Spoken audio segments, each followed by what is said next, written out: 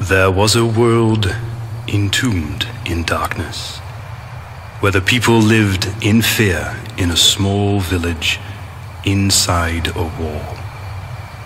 It was the only safe haven for life, an island of light in a sea of darkness.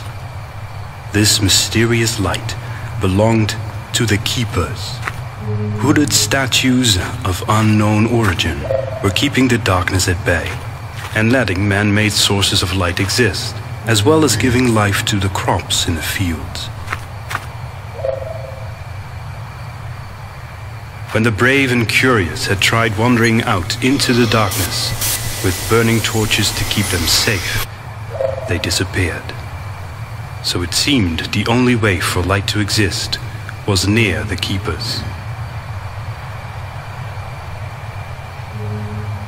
And so it was forbidden to ever exit the walls, and inside, a life of hardship lingered on. Until one day, as a child was watching the sky, a mysterious light descended upon a part of the village.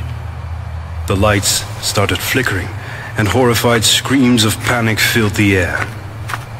As it descended above his head, he blacked out, with torches going out around him, being the last thing he saw.